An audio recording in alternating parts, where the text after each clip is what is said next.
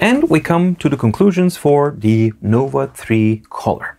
Let's start as usual with the cons. Well, considering that Nova 3 and Nova 3 Color are identical devices, basically same uh, negatives that were present on Nova 3, they automatically actually jump onto Nova 3 Color. The pen, while it's certainly better than the small old flimsy one, it's, as I said, disconnected from the design and from the quality from the device itself, and it seems like an afterthought. So for a $420 device, I believe that we need to have a more complete solution and something that is belonging to the device and to the series in a much better way. The screen protector. If the producer deems that the device will benefit from using a screen protector, that screen protector has to be pre-applied at the factory and the user needs to get the device with the screen protector pre-applied. End of story. That's a complete product. That's how you finish a product. It's much easier to take off that screen protector should you choose not to use it than it is to apply it, especially on the Boox devices because you get a screen protector. You don't get wipes, you don't get the squeegee, you don't get uh, dust stickers, nothing, none of those things, which makes the application process bubble air bubble free and dust uh, particles free almost impossible. With the gesture system that we now have to actually have those three uh, sections for yeah back home or refresh or whatever it may be, uh, the back button or the home button on the bottom is just a relic and it's a remnant of an older era and just a reminder that the design hasn't been changed in quite a long time. So for me, that button is uh, just not supposed to be there. The system doesn't require it. The system doesn't benefit from it. It's not a fingerprint reader. It's just a button. And while some people may prefer to have that button, which is fine, then at least, at the very least, we should have an option to disable it so that we can avoid those pesky and undesirable accidental presses. The Android 10 environment can be an intimidating uh, prospect for a new user, so uh, there is a steep learning curve for Android in itself. Now, that is also coupled with a relatively unintuitive approach, user interface and user experience approach with the Boox platform. So those two coupled are not an ideal type of uh, situation. There are hidden options, there are things that might not be obvious from uh, yeah from the get-go. And also if you are not used to technical devices and you're a paper person and you're trying to migrate to a device like this so that it replaces your paper needs it will definitely feel a little bit more intimidating. However this disadvantage very quickly becomes an advantage and after about a uh, two three weeks of actually spending time with the device and patiently learning how to use it and you can use different resources such as the big Boox guide on my deep guides platform just check out the playlist, you'll find it, and there's a series of now seven videos, but it'll grow over time to cover everything as much as possible to help you get started and to actually know how to use this thing. But the main thing is that once you overcome that initial learning curve, that complexity becomes a pro because of incredible flexibility and capabilities that are unmatched by other devices. However, all of these cons pale in comparison with the big, big glaring one, which is the Kaleido Plus. So at the beginning of the review, I was asking myself the question, how does the addition of the Kaleido Plus screen or the Color e-ink screen affect an already excellent platform such as the Nova 3 because this is the exact same device as the Nova 3 is it just has an added uh, Kaleido Plus color e-ink screen and the limitations that go with it. And to me, the very thing that makes this product stand out in good ways, it's also its biggest weakness. Simply put, the Kaleido technology is not there yet. It's something that's in development. Does it work? Yes, it does. Does it have problems? Yes, it does. So that's something that you have to expect from a technology that's in development. And this is like iteration two, and we're going or three. I even lost count. But we're going to have more coming very shortly. So while it is certainly an exciting prospect, and there are situations where the color aspect is really, really good and it's an exciting thing and it's something new. There are also quite a lot of moments where, yeah, it's subpar to its monochromatic cousin. So this is not necessarily Boox Boox' fault. This is going to be exactly the same and it's going to be present on any device from any manufacturer that uses e-ink Kaleido panels. We have to accept that this is the current industry standard that the developers have to work with. I think that's a very important thing to keep in mind. No matter what you do, you will have these same problems. The darkness of the screen, necessity to use the front light more than you normally would because of the set of darkness, absence of amber lights or absence of the dual front lights to create a more pleasant front light experience and excessive levels of ghosting. So those are the elements that I think are going to plague every device that's using this technology. Unfortunately, Nova 3 Color is not excluded from those problems. The final con for me has to be the consideration of the price. $420 for a 7.8 inch uh, device, while it is using the latest technology, while it is the latest and the best that the e-ink technology has to offer, unfortunately, that latest and best of e-ink color technology currently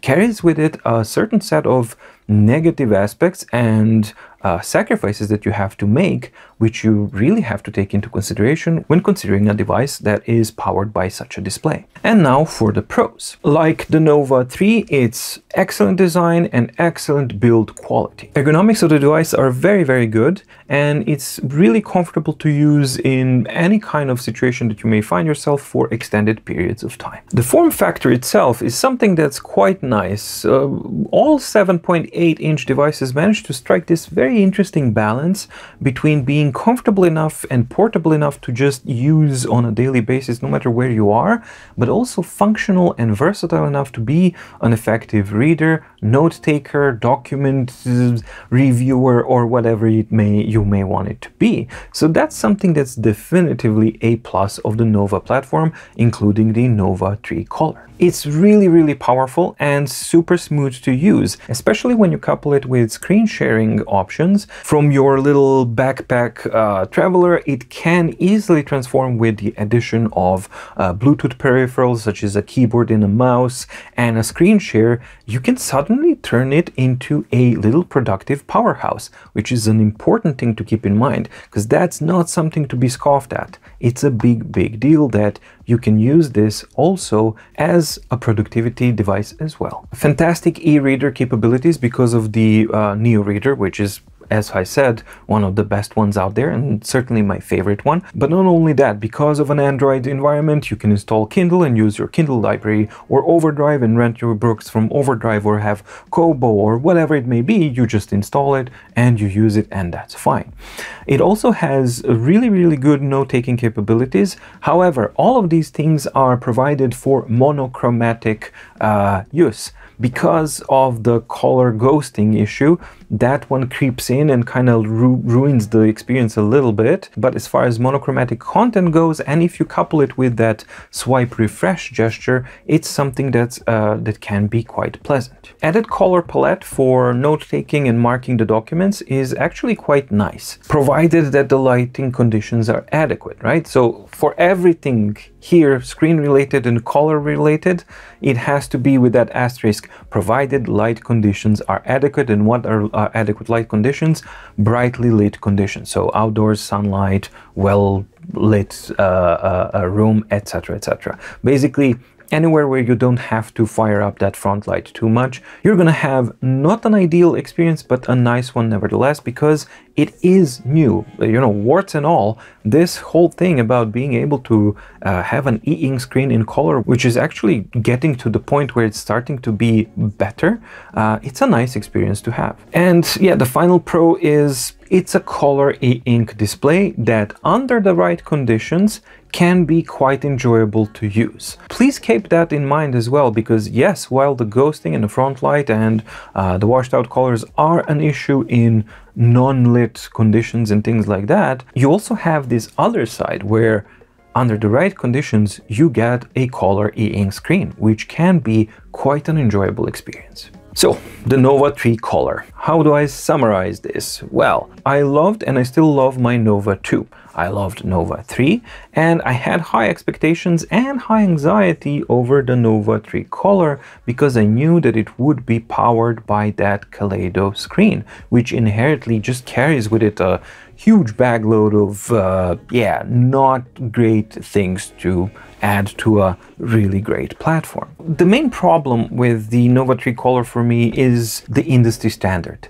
And as such, I don't think Boox had an option. They couldn't just go and ignore that e-ink released another Kaleido screen. I mean, the public would be up at arms and going like, why the hell isn't there like a Nova 3 Color? I think that the reality of the situation is this is currently the best e-ink color technology that we can get. That's the bottom line. And as such, the Nova 3 is using the best that the e-ink color technology has to offer at the moment now at early 2021. I'm thoroughly impressed by what the Boox engineers have been able to do to squeeze out of this uh, problematic technology and they are working their damnedest. You can actually see it in every update. They're trying their best to optimize it and improve it as much as they possibly can. Again, the bottom line here is there's only so much that they can do because at some point they're to hit the core, which is the fundamentals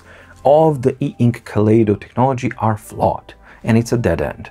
As long as you have that passive kind of a filter thingy on top, that's just, there's only so far you can go. It has to go in a different direction. We're not there yet, but for all intents and purposes, I think that they've managed to do a really, really good job and extract quite a lot out of this panel as such as it is. So do these Kaleido limitations mean that you should avoid uh, Boox Nova 3 Color? By all means, no. Let's not forget, this is still a Nova 3 device, which is incredibly capable, powerful little device that can bring you joy and can fit pretty much any lifestyle that you may have. And the color aspect of it, under the right conditions, can be a very valuable addition to that overall experience. However, you absolutely a hundred, a thousand percent have to be aware of the limitations that the e-ink Kaleido technology carries with itself and what it implies. The bottom line for me is this. If you know that in majority of situations you will be using this device under well-lit conditions such as sunlight, uh, windows, well-lit, kind of uh, indoor conditions, then I believe that you will be able to enjoy the Nova 3 Color. Because I also, in such conditions, truly enjoyed it. Even the comic books, because I had to refresh, because of the, the gesture, it wasn't a big deal at all.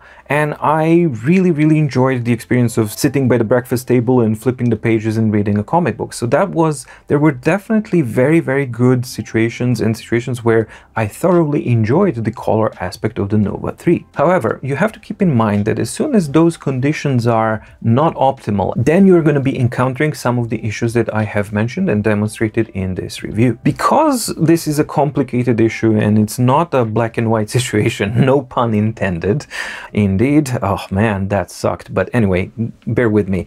It's a complicated issue and it's something that's not going to be for everyone.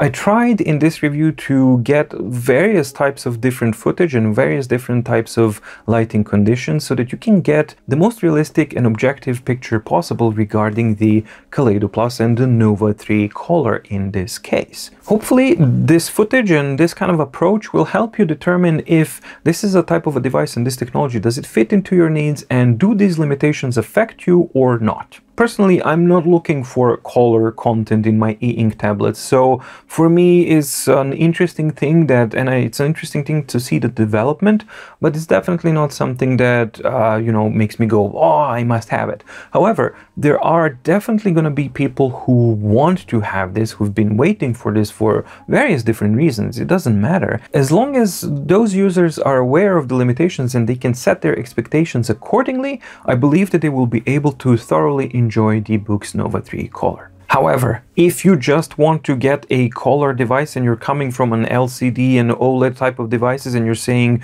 to yourself, oh, finally a color e-ink device and that's what you're gonna go, don't. Please inform yourself first. Check out a lot of reviews and stuff. Set your expectations correctly so that you know what to expect.